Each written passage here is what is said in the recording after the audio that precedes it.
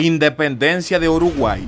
La independencia de Uruguay fue el proceso mediante el cual el territorio uruguayo, conocido entonces como Banda Oriental del Río de la Plata, se independizó de la corona española. Dicho proceso comenzó el 28 de febrero de 1811 con el grito de Ascencio. Durante el proceso de la independencia de Uruguay, los patriotas debieron enfrentarse a los intereses políticos y territoriales de los países vecinos, como Brasil. Luego de varios intentos y enfrentamientos armados por la toma del poder uruguayo, José Gervasio Artigas, al mando de las tropas independentistas, debió retirarse de Uruguay y entregar el poder al imperio luso brasileño. Finalmente, a través de un periodo de inestabilidad política y enfrentamientos, el ejército independentista logró reorganizarse en 1825 y provocó el desembarco de los 33. Allí, los independistas, al mando de Juan Antonio Lavalleja, consiguieron desalojar a los portugueses del poder político y comenzaron a fortalecer un Estado independiente. El proceso revolucionario se inició el 28 de febrero de 1811 con el llamado Grito de Ascencio, realizado por Pedro Viera y Venancio Benavides. El 11 de abril del mismo año, Viera y Benavides solicitaron ayuda a Buenos Aires, acudiendo al general Artigas, quien emitió la proclama de Mercedes, comunicando que la Junta mandaría dinero, municiones y 3.000 hombres en aporte al proceso de independencia. Las tropas libertadoras se movilizaron hacia Montevideo, donde se llevó a cabo la Batalla de las Piedras, el 18 de mayo del corriente año. Allí, Artigas logró un importante triunfo frente al ejército realista.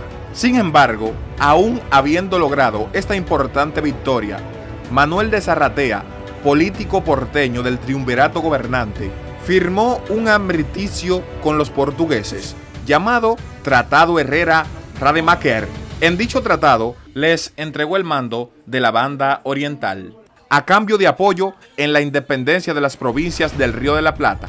Por consiguiente, Artigas se vio obligado a retirarse de Montevideo, en el conocido hecho histórico del éxodo del pueblo oriental, o la redota. Pero Artigas y sus tropas intentaron retomar Montevideo, logrando solo temporalmente sus objetivos, hasta ser derrotados por el ejército luso brasileño en la batalla de Tacuarembo en enero de 1820.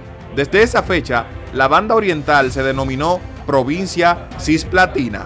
En 1825, cinco años después, ocurrió el llamado Desembarco de los 33, cuando un grupo de patriotas, liderados por Juan Antonio Lavalleja, lograron desalojar Montevideo de los portugueses. El 28 de agosto de 1828 se firmó la Convención Preliminar de Paz, con la que se consolidó la Banda Oriental como un Estado independiente, haciéndose llamar Estado Oriental del Uruguay.